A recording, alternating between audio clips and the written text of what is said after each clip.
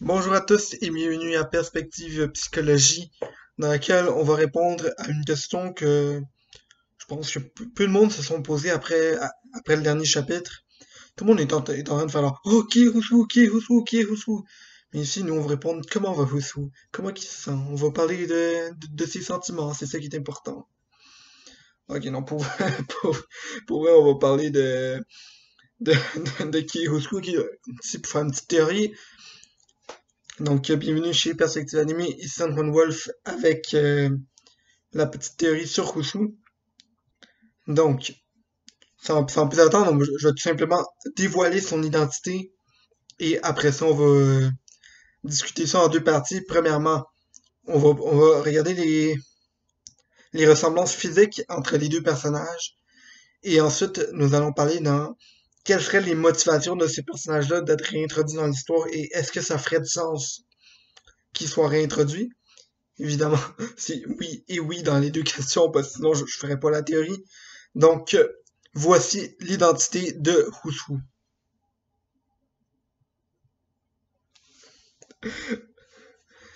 Vous êtes surpris, hein? C'est... Je suis désolé, juste qu'avec Tano, on avait fait. Euh, on, se, parlait l'autre jour, puis on s'est dit. Dans une vidéo, je vais annoncer que. que je vais faire un super gros montage. Puis quand, puis ça va être le moment de le montrer, je vais juste rien pointer. Puis vraiment, voici le vrai Foussou. Donc, euh,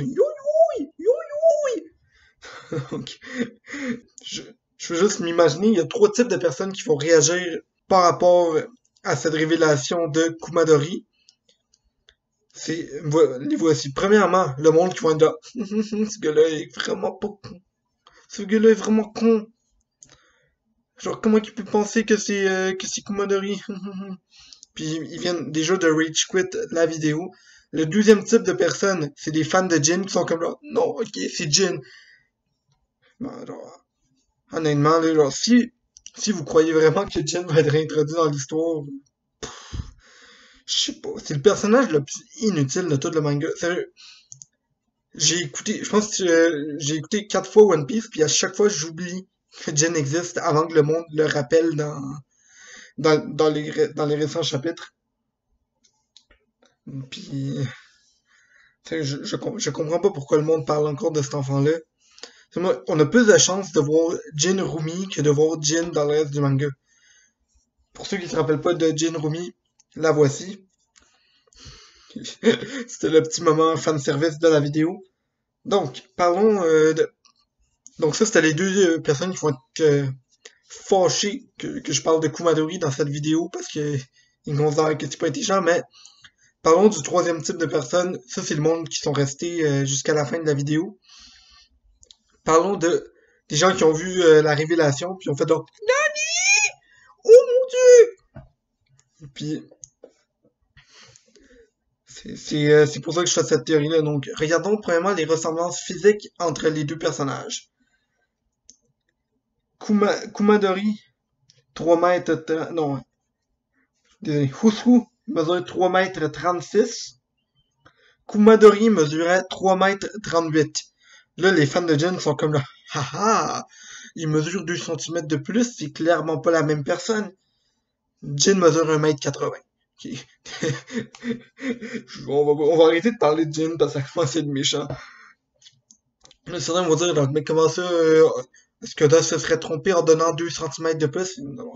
On s'appelle Kumadori avait sa grosse chevelure et euh, quand on regarde Fusu, il porte un casque, ses cheveux sont un peu écrasés, ça lui fait baisser de, ça lui fait baisser 2 cm. C'est juste ça. Quand il s'est mesuré, ça comptait un peu le top de sa tête. Enfin, 2 cm, le, gars peut-être juste rapetissé de 2 cm durant le time skip, mais on, on s'entend. C'est pas une grosse différence. Et le deuxième indice, pour ça, je vais vous montrer un peu une image du... Euh, je pense que c'est la page couverture d'un des tombes le, le, plus, le plus récent dans lequel on voit la couleur des Tobiropo. Et j'aimerais que Oda, toutes les Tobiropo, ils vont, ils vont carrément, il va carrément montrer une case complète d'eux. Et quand tu regardes la case de Husu, c'est quasiment comme si Oda le cachait. Il, il va placer des, euh, des métaux de kid par-dessus. Ça, va juste être, il va être un peu caché comparé aux autres. Je pense que Oda fait exprès pour pas qu'on arrive à, à regarder 100% les, les couleurs de Husu. Mais on arrive à voir un petit indice qui est la couleur des cheveux. Et la couleur des cheveux, c'est rose. Et là, vous allez me dire, mais là, euh, genre 50% des enfants de Big Mom ont les cheveux roses. Oui, mais Kumadori, je pense qu'il fait parfaitement avec euh, le type de, cheveux de Husu, c'est-à-dire une, longue chevelure rose. On voit aussi que quand on introduit Kumadori pour la première fois, moi, j'avais l'impression de voir un personnage d'inspiration japonaise. Et après avoir fait des petites recherches, j'ai remarqué que Kumadori est un personnage inspiré des euh, du théâtre kabuki et on sait que Wano depuis le début c'est fait en en cinq actes, c'est inspiré du théâtre kabuki japonais.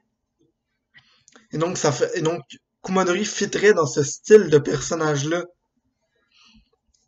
qu'on pourrait retrouver dans, ce théâtre-là. Là, il y, a un petit commentaire que je veux faire. J'aimerais que quand, quand on regarde les Tobiropo, regarde, regarde à, l'exception de Drake, puis Drake, on sait que c'est un traître. Mais si vous regardez Page One, Ulti, Black Maria et Sasaki, on voit clairement que leurs cornes ont l'air de sortir de leur corps comme si eux faisaient partie d'une race cornue. Et quand tu regardes Rousseau, si, tu regardes les cornes qui sont de proche, on dirait carrément que, que les cornes étaient comme attachées à son, à son casque plus qu'être des cornes du personnage en soi. Et je pense qu'il y a un petit indice que peut-être que le gars est pas 100% dans l'équipage de Kaido. Et c'est pour ça que logiquement, Rousseau pourrait faire partie du CP0 de la même façon qu'on a qu'on a Stussy qui s'est introduit chez Big Mom, mais Husu serait introduit chez Kaido. Et donc, euh, on, va, on va parler un peu du flashback euh, qu'on a de Kumaduri, Jabra et euh, Fukuro quand, quand ils étaient quand ils travaillaient pour le CP9. On sait que tous les membres du CP9, à l'exception de ces trois-là, il était tout à Water 7 et il était dans une mission d'infiltration. Donc, il essaie, il essaie de garder un profil très, un profil très bas. Et quand tu regardes euh, Kumadori, lui, ce qu'il faisait, c'est il était dans des missions d'assassinat, mais à cause, c'est dit dans ce petit flashback, à cause de Fukuro qui aime ça, on s'appelle le gars, il avait un zipper dans sa bouche parce que sinon il parlait puis il disait des choses qu'il devait pas. Et donc, à cause de ça, eux autres, ils ont dû assassiner 20 personnes. Puis ça, c'est juste dans la dernière mission. Est-ce qu'ils ont tué d'autres mondes dans le passé? Peut-être, mais on sait que le CP9, c'est une agence terrestre secrète. Même que le gouvernement mondial, ils ont, carrément décidé de pas parler du CP9 euh, au public. Donc, ça ferait du sens que si un marine voit euh, Kumadori en train de commettre un crime va pas savoir que ce gars-là fait partie du gouvernement mondial et pourrait y donner une prime. Et peut-être que ces trois gars-là, il y avait une prime, ils étaient considérés comme des pirates pour avoir tué 20 personnes. Et, et ça, pour moi, c'est peut-être un indice que le gars, dans le passé, c'était peut-être un, un membre du CP9 qui s'était passé pour un pirate. Il arrive dans le nouveau monde. Il se fait recruter par Kaido vu que le gars, le gars avait une prime. Et, euh, ça expliquerait pourquoi il serait, il serait appelé un capitaine pirate. On voit, on voit aussi que le gars porte carrément un masque qui cache son visage, ou du moins une partie de son visage. Et ça, c'est quelque chose qui est très typique euh, des, euh, des membres de Cypherpole. Donc, ça, c'est un autre indice qui, pour moi, euh, prouve que Kumadori pourrait être un membre du CP0 introduit dans l'équipage de Kaido sous le rôle de Husu. Et là, on va parler un peu de, de sa relation avec Jimby, parce que beaucoup de monde sont comme, tant en tant que tel, le gars, il a pas tant de lien avec, euh, avec Jimmy. Il y aurait plus un lien avec le reste des Straw Hats. Et bien, moi, je pense que, en tant que membre du gouvernement mondial, le, le gars devait au moins s'y connaître un peu sur les euh, sur les principaux Shibukai. Peut-être qu'il a négocié avec euh, Jimmy dans le passé en tant que en tant que pirate sous les ordres du gouvernement mondial. Et on, on sait que Tom, l'ancien maître de Frankie, était un homme poisson et possiblement que, que Tom a connu euh, Jimby dans le passé. C'est pas, pas confirmé, mais je pense que c'était dit que Jimby et euh, Den, le frère de Tom, étaient amis. Et peut-être que peut-être que Jimmy connaissait connaissait Tom dans le passé, donc ça ferait de sens que Kumadori ait parlé avec euh,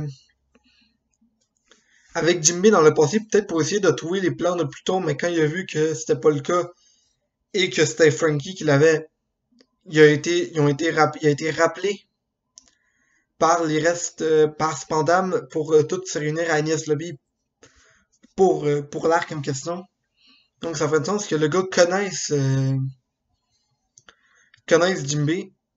Donc ça, c'était pas mal tous les petits indices que, que moi j'ai découvert par rapport à Kumadori qui font que c'est pour moi mon principal candidat pour le rôle de Husu. Évidemment, Oda, il peut sortir n'importe quoi. Moi, je pense j'ai vu euh, une théorie de, de Mont Blanc que ça pouvait être le fils de Dadan. Et ça, ça, pourrait être intéressant. J'ai vu euh, une autre théorie que c'était un le, le pirate euh, l'humain qui a été accusé par par euh, par mais Cody Jones d'être euh, d'être celui qui a tué Otohime.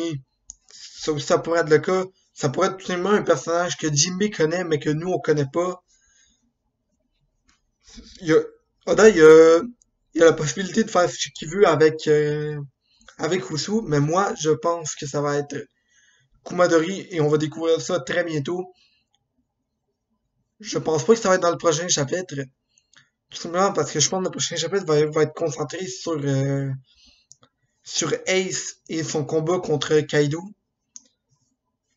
Mais je, mais je pense, qu'on va prendre ça peut-être à la fin du combat entre Jimbe et Husu. Ou euh, peut-être si quelqu'un remplace Jimbe, peut-être par exemple Brooke débarque, dit à Jimbe, hey Jimbe va-t'en aider Luffy, moi je m'occupe de ce gars-là, et Jimbe va se battre contre Jack ou n'importe quoi dans, dans ce genre-là. Mais je pense que le plus probable, c'est que Jimbe reste avec Husu euh, jusqu'à la fin de l'arc de Nigashima. Donc je pense que le moment où euh, va perdre, on va voir le dévoilement de, son visage. Et on, et on va remarquer que c'est bien que c'est bien Kumanori. Et juste un, dernier petit détail par rapport au style de combat que, que pourrait avoir. On sait que les tigres dans sombre, c'est des, euh, des mammifères, c'est un chat. Et les, les chats des poils. Et on sait que Kumanori aime ça se battre avec ses cheveux. Mais imaginez pas juste avoir sa tête qui peut se battre avec des cheveux, mais son corps au complet, son zouane au complet pourrait avoir des, des cheveux. On sait que c'est le seul membre du CP9 qui avait pas... Euh, en fait, non, il y avait deux membres du CP9 qui, qui n'avaient pas de, de fruits du démon, qui étaient Fukuro et... Euh, et Kumadori. Donc ça ferait, donc ça fitterait que le gars il mange un Zwan, un Zwan félin. Le dernier Zwan félin, c'était l'outil qu'il avait.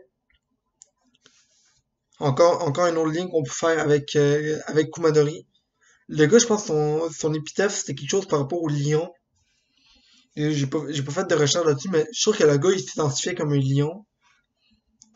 Et je pense qu'il fitterait, ça fitterait pas vraiment bien, donc un, un félin irait parfaitement bien avec euh, le personnage de euh, comment il s'appelait de, Kuma- de, Kum- de Kumadori et donc Husu avec le tigre à dents de.